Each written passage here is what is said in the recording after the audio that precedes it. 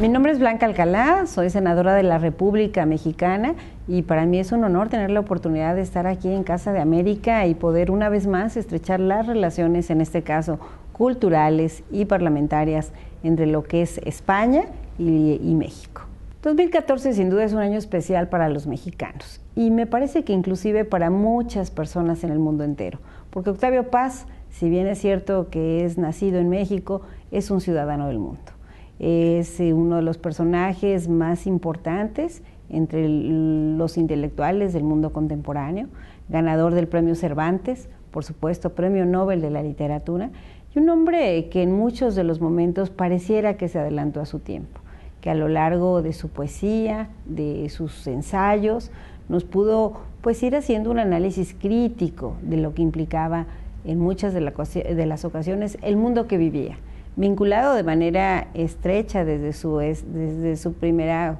pues adolescencia, incluso con España, y que hoy en el Senado mexicano hemos buscado pues encontrar eh, un mecanismo para rendirle digamos reconocimiento a lo que fue su vida, a lo que fue su obra y sobre todo con el interés también de acercarlo a las nuevas generaciones. Y en ese sentido, bueno, pues Casa de América hoy nos ha brindado el cobijo para poder realizar muchas actividades en ocasión, por un lado, de las actividades de un coloquio internacional que tendrá lugar precisamente aquí en Madrid en el mes de mayo y también a la presentación de una publicación especial inédita en cuanto a su concepción que precisamente hablará de la antología de los textos políticos de Octavio Paz. Textos que bueno, están en distintas eh, de sus obras señalados, pero que en esta ocasión, en esta compilación de itinerario crítico, pues nos permitirá al lector poder descubrirlos y sobre todo también reflexionarlos.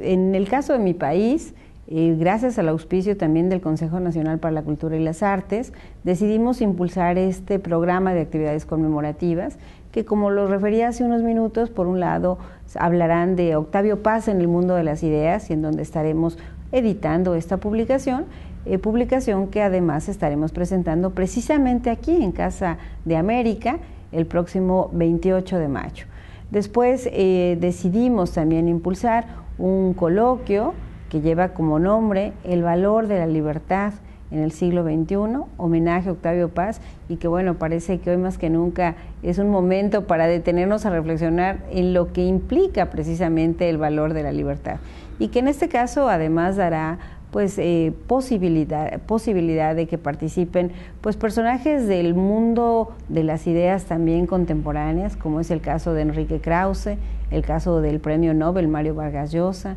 de Jorge Edwards, de Fernando Sabater, e inclusive también de Felipe González. Y por otro lado, eh, nos hemos propuesto encontrar múltiples maneras de cómo acercar a Octavio Paz a la gente, en este reencuentro con la gente. Y bueno, ahí la invitación es para que en diversos espacios de lo que es el equipamiento urbano, en el caso de México, en las principales capitales del país, y esperamos que se sume a esta iniciativa distintas partes del mundo, pues podamos sorprender al ciudadano, al transeúnte, al peatón, con fragmentos de la obra de Octavio Paz. Imagínate que cuando estás esperando eh, la línea del transporte público puedas encontrar frases como aquellas que decían que la libertad no necesita alas, sino necesita echar raíces, o que incluso para los jóvenes amar es combatir. Y que es la mejor manera con la cual me parece que podemos definitivamente rendirle homenaje a un grande de la literatura, pero sobre todo a un hombre de su tiempo.